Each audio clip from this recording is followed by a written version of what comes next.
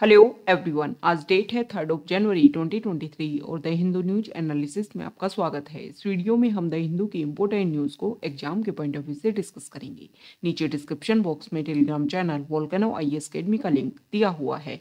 आप Telegram channel volcano I S academy के साथ में जुड़ सकते हैं। वहाँ पर हर exam means UPSC state PCS and other exams के पॉइंट ऑफ़ व्यू से काफ़ी इंपॉर्टेंट इन्फॉर्मेशन आप सभी के साथ में शेयर की जाती है। तो चलो स्टार्ट करते हैं। वीडियो को स्टार्ट करेंगे एक जोग्राफिकल मैप क्वेश्चन के साथ में। और आज आपका क्वेश्चन ये है कि उस्मान सागर लेक को आपको मैप में व्यू करना है। फिर इससे रिलेटेड हर इम्पोर्टेंट फैक्ट्स को एंड इन्फॉर्मेशन को कमेंट बॉक्स में टाइप करना है। कल हमने आपसे क्वेश्चन पूछा था साबरमती रिवर को लेकर के। तो साबरमती रिवर हमारे इंडिया में जो वेस्ट फ्लोइंग रिवर हैं, उनमें से एक है। साबरमती रिवर का ओरिजिन राजस्थान स्टेट में अरावली हिल्स से होता है। उसके बाद में गुजरात स्टेट में फ्लो करती हुई लास्ट में गल्फ ऑफ़ खम्बात में अपने आप को मर्च करती है। गुजरात स्टेट में अगर हम साबरमती रिवर की बात करें तो two important cities Gandhinagar and Ahmedabad जो है, वो साबरमती रिवर के बैंक एरिया पर लोकेटेड है। साबरमती रिवर अपने पोल्यूशन की वजह से काफ़ी ज़्यादा न्यूज़ में बनी रहती है। प्रजेंट टाइम में अगर हम डिस्कस करें तो इसमें पोल्यूशन लेवल जो है, वो काफ़ी ज़्यादा इंक्रीज़ हो गया है। साथ ही साथ में अभी कुछ टाइम पहले ही हमारे जो प्राइम मिनिस्टर हैं, उन्होंने अहमदाबाद सिटी में जो साबरमती रिवर फ्लो करती है, उसके ऊपर अटल पेडेस्ट्रियन ब्रिज का इनोग्रेशन किया गया, जिसकी वजह से भी काफ़ी ज़्यादा न्यूज़ में है। तो ये साबरमती रिवर से रिलेटेड बेसिक फैक्ट्स हैं, जो आपको ध्यान में रखने हैं। द हिंदू को अगर हम डिस्कस करें तो फ़र्स्ट इम्पोर्टेंट न्यूज़ है द हिंदू के फ्रंट फ्रंट पेज पर। और 2016 में जो डीमोनेटाइजेशन प्रोसीजर हुआ था उस के बारे में आप सभी को पता होगा। उसी को लेकर के, उसी को लेकर के सुप्रीम कोर्ट में एक डिस्कशन चल रहा था और सुप्रीम कोर्ट में कॉन्स्टिट्यूशन बेंच जो है फाइव जजेस की कॉन्स्टिट्यूशन बेंच जो है, वो इस आर्टिकल को डिस्कस कर रही थी। इसमें फोर वन से, फोर वन मेजोरिटी से इसका रिज़ल्ट आया है। फोर जजेज ने ये माना है कि जो डिमोनेटाइजेशन प्रोसीजर हुआ था, उसमें जो सेंट्रल गवर्नमेंट है, उन्होंने कोई भी लूप होल नहीं है, उन्होंने एक प्रॉपर जो प्रोसीजर होता है, उसको फॉलो किया था। लेकिन वन जजेज जो इन फाइव जजेज में से सोल वीमेन जज थी और बीवी नागरथना उन्होंने ये माना है कि आरबीआई एक्ट जो है, उसके कुछ सेक्शन का यहाँ पर वायलेशन देखने को मिला है इस डीमोनेटाइजेशन प्रोसीजर में। बीवी नागरथना का ये मानना है कि देखो डिमोनेटाइजेशन का जो प्रोसीजर है, उसको आरबीआई मतलब जो सेंट्रल बैंक है, वो अपनी तरफ़ से इनिशिएट करता ओके मतलब प्रोसीजर तो ये बोलता है आरबीआई एक्ट का जो सेक्शन 26 है, उसका जो सब सेक्शन टू है, वो ये बात बोलता है कि सेंट्रल बैंक जो है, वो डिमोनेटाइजेशन प्रोसीजर को स्टार्ट करता। लेकिन हमने यहाँ पर देखा कि हमारे प्राइम मिनिस्टर ने अनाउंस किया कि जो फाइव हंड्रेड के और जो वन थाउज़ेंड की जो नोट है, उनका डीमोनेटाइजेशन उनकी जो वैल्यू है, उसको एक तरीके से नेग्लेक्ट कर दिया गया और आपको चेंज करवाने पड़ेंगे अगर आपके पास में वो करेंसी अवेलेबल है तो। ऐसा अनाउंसमेंट हमारे प्राइम मिनिस्टर ने किया।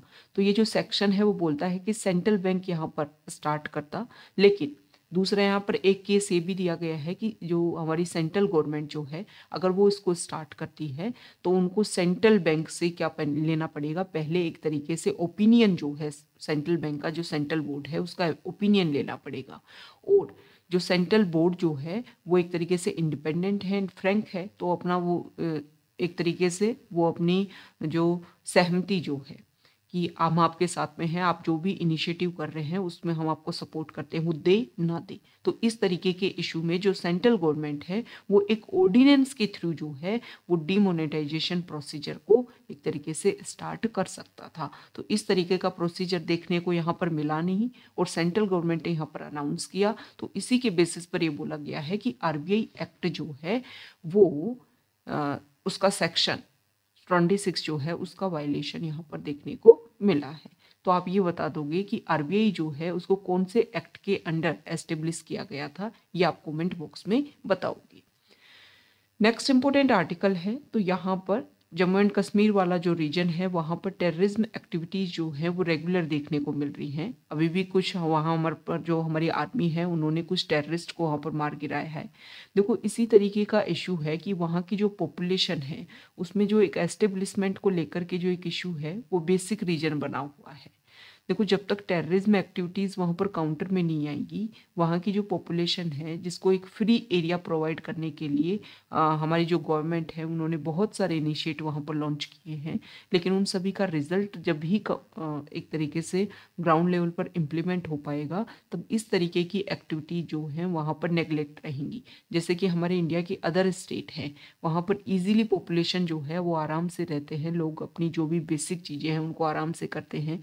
आर्मी का इतना एक तरीके से रोल नहीं है, इतनी अवेलेबिलिटी नहीं है तो इसी तरीके का वहाँ पर जो एटमोसफियर क्रिएट होगा, तभी जा कर के वो सारी पॉपुलेशन के मन में जो बिलीफ है, वो सब कुछ जो है, वो जनरेट हो पाएगा टाइम के साथ में।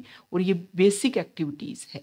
जम्मू एंड कश्मीर का जो इशू अगर सॉल्व करना है तो उसमें एक बेसिक बेसिक जो पॉइंट है वो ये है कि वहाँ की पॉपुलेशन में एक बिलीफ क्रिएट हो कि इंडियन गवर्नमेंट जो है वो आपके सपोर्ट के लिए, आपके प्रॉफिट के लिए, आपके बेनिफिट के लिए जो है वो काम कर रही है और यहाँ पर जो आर्मी की अवेलेबिलिटी है वो आपकी सिक्योरिटी के लिए अवेलेबिलिटी मतलब यहाँ पर जो आर्मी है वो इसी पॉइंट के लिए मौजूद है।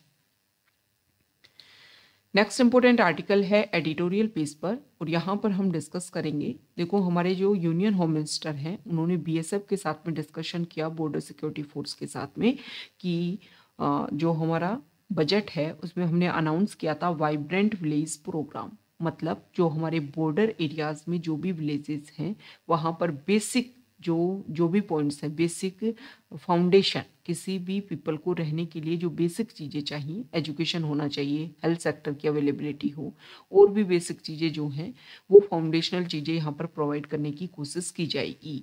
तो जो बॉर्डर विलेज हैं, वहाँ पर डेवलपमेंट और कम्युनिकेशन के प्रमोशन के लिए काम किया जाएगा ओके और यहाँ पर हमारे यूनियन होम मिनिस्टर ने इस बात के ऊपर फोकस भी किया कि हमारे बॉर्डर एरियाज़ जो हैं, अगर वहाँ पर हम बेसिक फाउंडेशन एस्टेब्लिश करते हैं। और एक इम्पोर्टेंट पॉइंट उन्होंने बोला कि पेट्रियोटिज्म अगर वहाँ के विलेजर्स में अवेलेबिलिटी है तो बहुत सारे जो हमारे कन्फ्लिक्ट बॉर्डर एरियाज़ में देखने को मिलते हैं, वो काफ़ी कम हो जाएँगे। लेकिन एक इम्पोर्टेंट बात कि ये जो स्टेटमेंट है, ये प्रूव करता है कि जो भी इंटरनेशनल कॉन्फ्लिक्ट बॉर्डर एरियाज़ में देखने को मिलता है मतलब बॉर्डर एरियाज़ में जो विलेजेस हैं, उनकी वजह से है तो ऐसा बिल्कुल नहीं है। जो भी इश्यूज़ होते हैं, इंटरनेशनल कन्फ्लिक्ट होते हैं बॉर्डर एरियाज़ पर, उनमें बॉर्डर विलेजेस पे जो रहने वाले लोग हैं, उनका एक तरीके से कंट्रीब्यूशन आप नहीं मान सकते हो कि उनकी वजह से प्रॉब्लम क्रिएट हो रही है। हाँ बेसिक जो चीज़ें हैं वो उनके लिए अवेलेबिलिटी होनी चाहिए। तो फोकस किया जा रहा है कि वहाँ पर वो सारी चीज़ें अवेलेबल हों, जैसे कि कम्युनिकेशन के लिए वहाँ पर अवेलेबल हो, साथ ही साथ में यहाँ पर फोकस किया जा रहा है कि एजुकेशन के पर्पज़ से जो भी दूरदर्शन, जो भी न्यूज़ चैनल है, उन सब की अवेलेबिलिटी वहाँ पर करवाई जाएगी। हेल्थ सेक्टर के ऊपर फोकस किया जाएगा। तो एक होलिस्टिक अप्रोच अपनाई जाएगी कि जो भी ऑल फैसिलिटीज़ है, वो यहाँ पर अनाउंस की जाए, वो यहाँ पर इम्प्लीमेंट की जाए। साथ ही साथ में बोला गया कि अभी से पहले जो स्कीम है, जो भी पॉइंट है, उन सभी को इसमें मर्ज किया जाएगा। मतलब पहले से जो स्कीम चल रही है ना बॉर्डर एरिया के अपग्रेडेशन के लिए, वो इसमें मर्ज की जाएँगी। तो कुछ क्लेरिफिकेशन यहाँ पर कुछ पॉइंट्स को लेकर के नहीं है। जैसे कि बॉर्डर एरियाज़ को लेकर के यहाँ पर ये क्लेरिफिकेशन नहीं है कि हमारे इंडिया का जो कंप्लीट बॉर्डर एरिया जैसे कि पाकिस्तान के साथ में, बांग्लादेश के साथ में, चाइना के साथ में, नेपाल, भूटान, इनके साथ में जो हमारी बॉर्डर एरिया लगते हैं, क्या सभी जगह जो विलेजेस हैं उनको बनाए जाएँगे? या फिर कुछ टाइम पहले इस तरीके का स्टेटमेंट देखने को मिला था कि चाइना के साथ में जो हमारी बॉर्डर मिलती है नर्दन पार्ट में, उस पार्ट में हम जो है, वो आर्टिफिशियल तरीके से विलेजेस वहाँ पर डेवलप किए जाएँगे ताकि टूरिज़्म सेक्टर को प्रमोट किया जाए और चाइना जो है वो भी सेम स्ट्रेटजी के अकॉर्डिंग बॉर्डर एरियाज़ पर विलेजेस को डेवलप कर रहा है ताकि कनेक्टिविटी बनी रह सके और कनेक्टिविटी अगर बनी रहेगी तो बॉर्डर एरिया पर कोई इशू क्लैश क्रिएट होता है तो आर्मी की अवेलेबिलिटी अच्छे से हो पाएगी। तो यहाँ पर इस पॉइंट को लेकर के क्लैरिफिकेशन नहीं है कि विलेजेस जो हैं वो सभी एरिया में डेवलप किए जाएँगे या फिर चाइना के साथ में जो बॉर्डर है वहाँ पर डेवलप किए जाएँगे। और अभी प्रेजेंट टाइम में जो स्कीम चल रही है, उन स्कीम को किस तरीके से कन्वर्ट किया जाएगा और किन किन एरिया पर जो है वो फोकस किया जाएगा। तो ये कुछ बेसिक इशू है जिसको लेकर के क्लैरिफिकेशन जो है होना चाहिए। प्रेजेंट टाइम में border area development plan ministry of home affairs का जो है, वो बॉर्डर रीजन में जो डेवलपमेंट है, इसके लिए फोकस करता है। तो अभी ये क्लियर नहीं है कि प्रेजेंट टाइम में जो स्कीम चल रही है ना बॉर्डर एरिया डेवलपमेंट प्लान इससे किस तरीके से अलग है वाइब्रेंट विलेज प्रोग्राम मतलब क्या क्या डिफरेंस देखने को मिलेगा? ओके तो यहाँ पर फोकस ये करना है कि देखो, जो हमारे विलेजर्स हैं, ऐसे लोग जो बॉर्डर एरियाज़ के पास में विलेजेस में रहते हैं, वहाँ पर एक बिलीफ क्रिएट होना चाहिए। उन लोगों को जैसे इस तरीके का जो स्टेटमेंट है, ये स्टेटमेंट जो है ना, वो एक तरीके से डिस्टेंस क्रिएट करते हैं। ओके? और हमें क्या करना है? कोऑर्डिनेशन एंड कोऑपरेशन को इंक्रीज करना है। तो जो भी हमारे वहाँ की पॉपुलेशन है, उनमें एक बिलीव क्रिएट होना चाहिए कि गवर्नमेंट जो है, वो, उनका मेन टारगेट है वहाँ की जो पीपल है, उनके अपग्रेडेशन के लिए और साथ ही साथ में जो ये है कि वहाँ पर अवेलेबिलिटी होंगी बेसिक चीज़ों की तो उसकी वजह से जो बॉर्डर एरिया है, वो भी इजीली सिक्योर रह पाएँगे। तो मेन टारगेट फोकस करना है वहाँ की पॉपुलेशन को अपग्रेडेशन के लिए, जिसकी वजह से जो बॉर्डर एरियाज़ हैं, वो इजीली सिक्योर रह पाएँगे। नेक्स्ट इम्पोर्टेंट आर्टिकल है तो यहाँ पर जो राइटर हैं, उन्होंने एक इम्पोर्टेंट बात बोली है। इस आर्टिकल का अगर हम एक समरी डिस्कस करें तो इन्होंने एक स्टोरी के थ्रू एक कहानी को स्टार्ट किया है कि एक लोग के स्टूडेंट जिन्होंने पहले अपना ग्रेजुएशन कंप्लीट किया, फिर वो अपनी प्रैक्टिस करना चाहती हैं, लेकिन उनको लगता है कि उनकी एजुकेशन शायद इस लेवल पर कंप्लीट नहीं हो पाई कि वो अपनी प्रैक्टिस स्टार्ट कर पाई। तो इससे पहले जो है, वो अपनी मास्टर डिग्री कंप्लीट करना चाहती हैं। तो राइटर ने यहाँ पर एक बुक का वो देते हुए कि बहुत साल पहले 1976 में रोनाल्ड डोर जो है, उन्होंने अपनी बुक पब्लिश की थी और उन्होंने अलग अलग कंट्री जो है, उसके बारे में फोकस करते हुए बात रखी थी कि बहुत सारी कंट्रीज़ हैं जहाँ पर डिग्री के ऊपर फोकस किया जाता है। स्पेसिफिक इंडिया की अगर हम बात करें तो डिग्री के ऊपर बहुत ज़्यादा फोकस किया जाता है। जो किया जा रहा है, उसमें क्वालिटी के ऊपर फोकस ना करते हुए मैक्सिमम डिग्रीज जो है वो लोगों के पास में होनी चाहिए, इसके बारे में फोकस किया जा रहा है। तो यहाँ पर उन्होंने देखो कोविड के बाद में कुछ पॉइंट प्लस पॉइंट भी रखे हैं कि जैसे कि कोविड के बाद में ऑनलाइन एजुकेशन जो है वो काफ़ी ज़्यादा इंक्रीज हो गई है। तो बहुत सारी डिग्री करना भी थोड़ा ईजी हो गया है घर बैठ कर भी आप यूनिवर्सिटी अटेंड कर सकते हो, अपनी डिग्रीज के लिए जो है वो अप्लाई कर सकते हो। तो ये सारा प्रोसीजर है कि लर्निंग प्रोसीजर जो है वो काफ़ी ज़्यादा ओपन हुआ है, लेकिन हमें फोकस करना है क्वालिटी के ऊपर। जो भी हमारे एकेडमिक्स हैं, जो भी हमारे इंस्टीट्यूट हैं, जो भी हमारी यूनिवर्सिटीज़ हैं, उसमें जो भी कोर्सेज हैं, उसमें हमें फोकस करना है क्वालिटी के ऊपर। प्राइवेट यूनिवर्सिटीज़ जो एक तरीके से मनी मेकिंग प्रोसीजर के अकॉर्डिंग हमें कोर्सेज जो है वो नहीं बनाने हैं। जो भी कोर्स हो, उसमें क्वालिटी मेंटेन हो, और रिज़ल्ट जो है वो हंड्रेड परसेंट सेटिस्फेक्शन स्टूडेंट्स में देखने को मिले।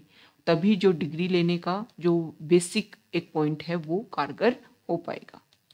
नेक्स्ट इम्पोर्टेंट आर्टिकल है तो यहाँ पर जो राइटर हैं, उन्होंने इंडिया की जो प्रिजन है, उसकी कंडीशन के बारे में बात की है। और राइटर ने यहाँ पर बेसिक बनाया है कि कॉन्स्टिट्यूशन डे वाले दिन हमारे जो प्रेसिडेंट हैं, उन्होंने इम्पोर्टेंट फोकस किया था कि उन्होंने अपनी जो लाइफ जर्नी है, उसके बारे में उन्होंने बताया। उन्होंने बताया कि जो भी प्रिजन एरिया है, उनका उन्होंने काफ़ी ज़्यादा विज़िट की है। और प्रिजन एरिया में उन्होंने देखा कि बहुत सारे लोग तो ऐसे केसेस में बंद है जो बहुत ही माइनर है, जिनमें कोई क्राइम ही नहीं है।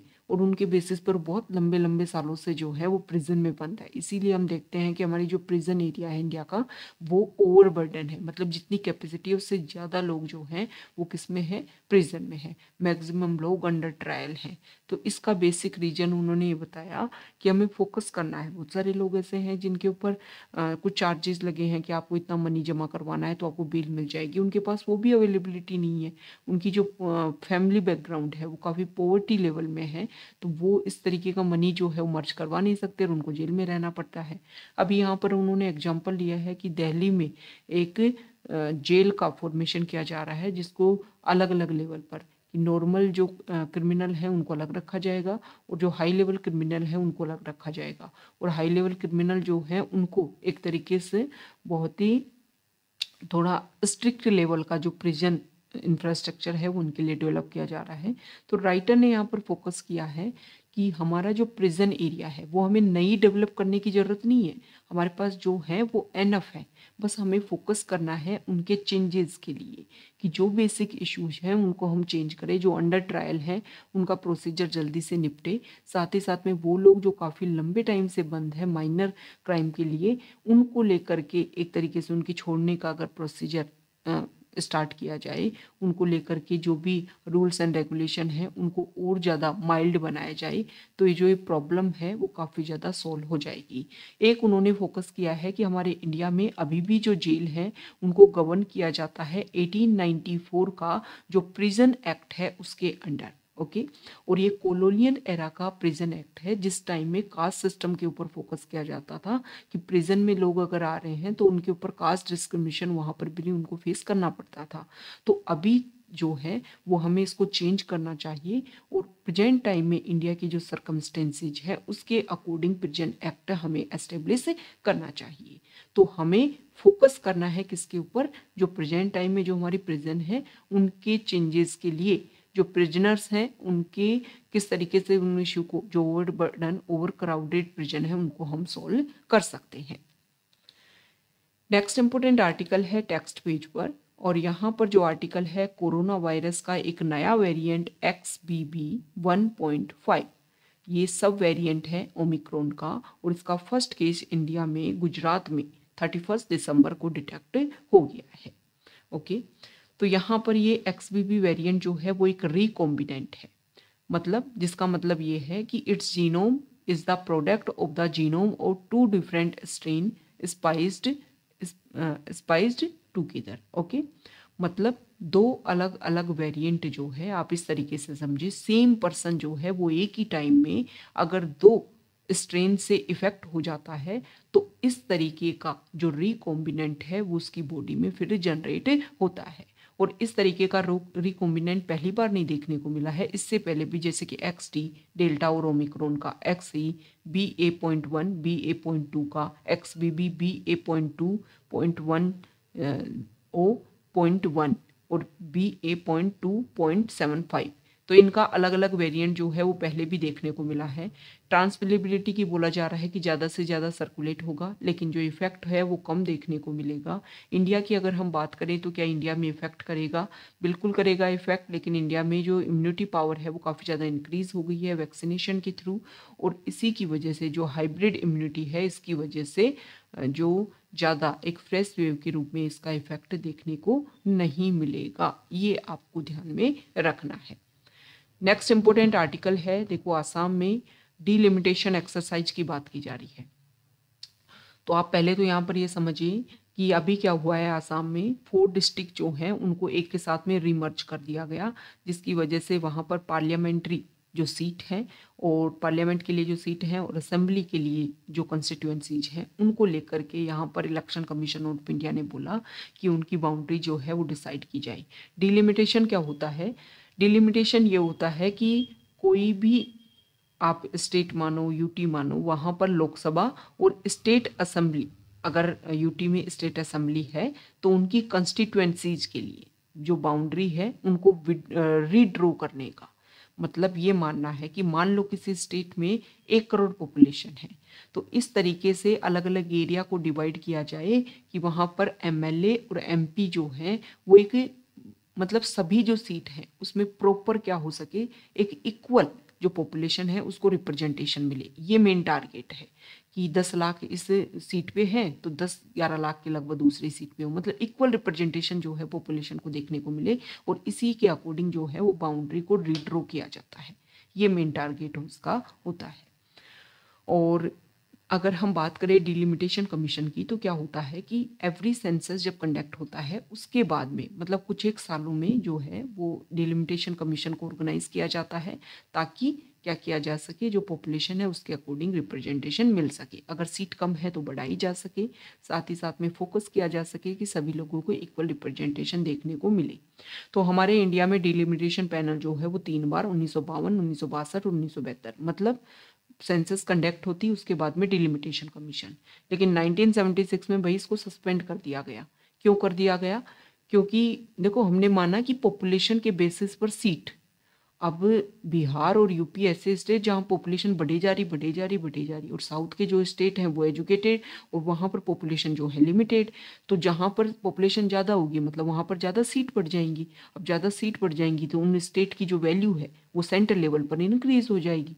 क्योंकि वहाँ पर लोकसभा की सीट भी ज़्यादा होंगी। लोकसभा की सीट ज़्यादा होंगी तो सेंट्रल गवर्नमेंट तो उन्हीं स्टेट के ऊपर फोकस करेगी कि यहाँ से हमें ज़्यादा सीट मिलेंगी। ओके तो इसकी वजह से फिर इसका विरोध किया गया कि भाई रोको, इसकी वजह से तो दो स्टेट को तो बहुत ज़्यादा सीट हो जाएँगी और जो अदर स्टेट है उनका तो ग्रोथ ही नहीं हो पाएगा। तो इसीलिए फिर जो है डिलिमिटेशन कमीशन को रोक दिया गया कि भाई जो है अब जितनी सीट है उसी को डिसाइड रखा जाए, अब इंक्रीज नहीं किए जाएँगी। तो लास्ट कमीशन 2002 में और इस टाइम क्या हुआ? 2002 में जो 2002 में जब डिलिमिटेशन कमीशन एस्टेब्लिश हुआ तो हमारा नॉर्थ ईस्ट वाले जो स्टेट है, वहाँ पर कुछ सिक्योरिटी इश्यूज़ थे चार स्टेट में तो वहाँ पर डिलिमिटेशन कमीशन एस्टेब्लिश नहीं हो पाया था। तो इसीलिए अब जो है, वो आसाम स्टेट में किया जा रहा है। तो यहाँ पर बेसिक इश्यू ये है कि एनआरसी जो है उसको लेकर के कि मुस्लिम पॉपुलेशन को कुछ स्टेट ऐसे हैं, कुछ एरिया ऐसे हैं असम में जहाँ पर मुस्लिम मेजोरिटी में है। तो उनके अकॉर्डिंग जो है, वो भी सीट यहाँ पर रिज़र्व होनी चाहिए या नहीं होनी चाहिए, इसी को लेकर के जो है इशू बना हुआ है।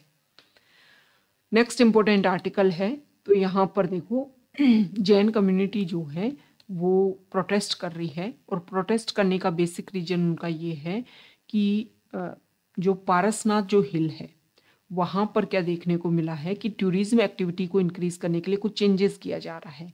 तो झारखंड गवर्नमेंट ने डिसीज़न लिया है। तो यहाँ पर जैन कम्युनिटी का ये मानना है कि पारस कम, पारसनाथ जो हिल है, वहाँ पर हमारे जो चौबीस तीर्थंकर हुए हैं मतलब जो हमारे एनलाइंटेड बींग्स हुए हैं, उनमें से ट्वेंटी ट्वेंटी जो है, उनको यहाँ पर मोक्ष मिला था। ओके उन्होंने यहाँ पर मोक्ष अटेन किया था तो ये पार्शनाथ हिल जो है, इसमें आप क्या करोगे? चेंज करोगे?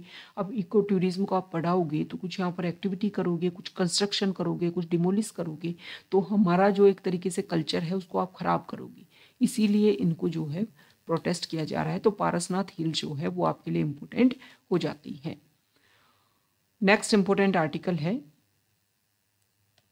यहाँ देखिए। देखो फॉरेन पेज पर जो आर्टिकल है तो रशिया और यूक्रेन के बीच में जो वॉर है, वो रेगुलर बना हुआ है। और यहाँ पर यूक्रेन ने यूएस सप्लाइड हिमरस जो उनका लोन सिस्टम है, उसको यहाँ पर यूज़ किया है। तो इसके बेसिस पर अगर हम देखें, साथ ही साथ में अगर आप बात करोगे तो चाइना जो है, उसका ताइवान वाले रीजन पर जो उनका, जो भी एयर इनकर्जन जा वो उसको और ज़्यादा उन्होंने इंक्रीज़ कर दिया है। क्योंकि अभी ताइवान में लास्ट ईयर हमने देखा कि यूएस के रिप्रेजेंटेटिव की यहाँ पर अटेंडेंस हमें देखने को मिली, जिसकी वजह से, क्योंकि चाइना क्लेम करता है ताइवान पर कि हमारा है, और ताइवान अपने आप को इंडिपेंडेंट कंट्री के रूप में मानता है। तो ये इशू है कि रशिया यूक्रेन में यूएस सपोर्ट कर रहा है और चाइना ताइवान इशू में जो है वो रशिया एक तरीके से सपोर्ट की बात कर रहा है। रशिया को सपोर्ट कर रहा है चाइना रशिया सपोर्ट कर रहा है चाइना को, यूएस सपोर्ट कर रहा है यूक्रेन को, ताकि रशिया को काउंटर किया जा सके। तो इन सभी की वजह से जो प्रॉब्लम है, जो इकोनॉमी है, वो काफ़ी ज़्यादा गड़बड़ा गई है। और इसीलिए इकोनॉमी पेज पर जो आईएमएफ की एमडी है, उन्होंने वार्निंग दी है कि 2023 जो है, वो इकोनॉमिक परस्पेक्टिव से काफ़ी टफर रहेगा। क्योंकि यूएस चाइना और ईयू जो है, वहाँ पर ये मेन इकोनॉमीज हैं और इनमें स्लोइंग देखने को मिल रहा है। चाइना में कोविड की रिस्ट्रिक्ट पॉलिसी की वजह से जो प्रॉब्लम है, जो मैन्युफैक्चरिंग है, वो काफ़ी ज़्यादा एक तरीके से इफ़ेक्ट हो रही हैं। तो इन सभी को हमें क्या करना होगा रेगुलेट करना होगा। जो भी इशू हैं, उनके ऊपर फोकस करना होगा।